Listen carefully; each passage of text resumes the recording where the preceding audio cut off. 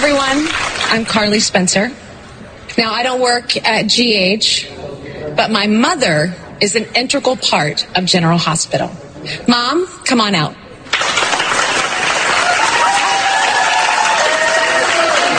Now, for the few of you who do not know her, this is my mother, Barbara Jean Spencer, Chief Nursing Officer at General Hospital. Now, we're not only celebrating General Hospital's 60th year, we are also celebrating you. This amazing, beautiful woman has been helping people and saving people's lives for the past 45 years. and what makes General Hospital so special is its people.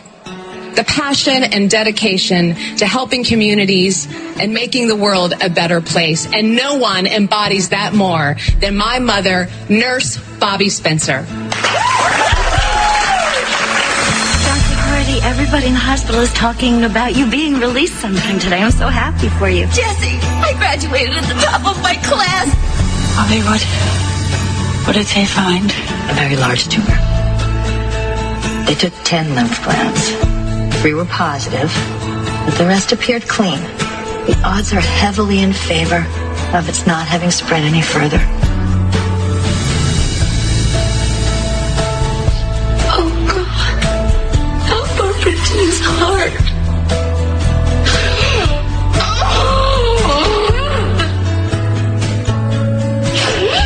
I don't know how you did it. I don't know how you sat next to your little girl as she lay in bed.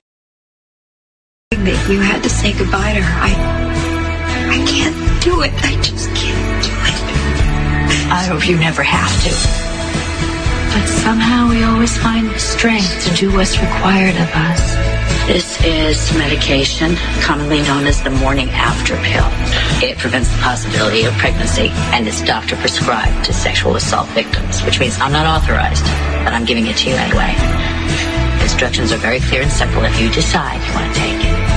I have tolerated your insults for years because it's my son. He's a wonderful young man, and I'm very proud of him. And if you ever insult my son again, I will bitch slap you all the way to the Canadian border. I wish I would have known you longer. I wish I would have realized the gift that you are long ago. I am humbled by your compassion and your capacity for forgiveness. She is a consummate healer, infinitely kind and loyal to those she loves, and equally fierce to her adversaries. I should know, because I've been both. She found me when I was at my worst, and she loved me until I was at my best. And I'm not the only one.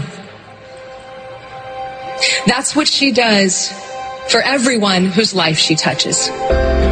That's what Nurse Bobbie Spencer does for General Hospital.